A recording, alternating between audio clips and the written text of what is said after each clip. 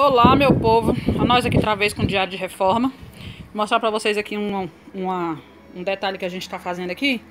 Que a gente não tinha madeiramento pra fazer as colunas. E aí, eu tinha esse guarda-roupa, umas portas de guarda-roupa que eu tinha catado um descarte há um tempo atrás.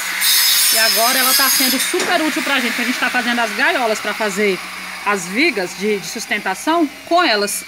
Então, ó, portas de guarda-roupa formicada e aí cortou do tamanho que era necessário e tá fazendo as gaiolas. Vou mostrar pra vocês aqui como é que ficou em pé. Não esconde não que depois eu vou te mostrar, viu, senhor pedreiro? Olha como é que ficou em pé o negócio aqui, ó. Fica desse jeito. Vou mostrar pra vocês de pertinho, pra vocês constatarem que é o MDF do guarda-roupa. Olha aí, ó. Negocinho da sustentação, da, da, de abrir e fechar. E aí ficou desse jeito. Essa gaiola tá cheia de, segundo ele, é uma gaiola, né? É para poder o negócio ficar no nível certo aqui.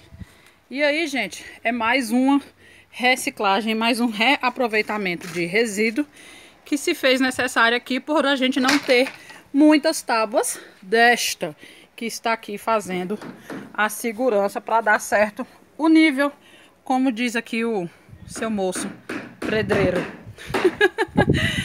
é isso, minha gente. Bora lá, reaproveitar, reciclar. Palavra de ordem. Valeu, até a próxima com o Diário de Reforma.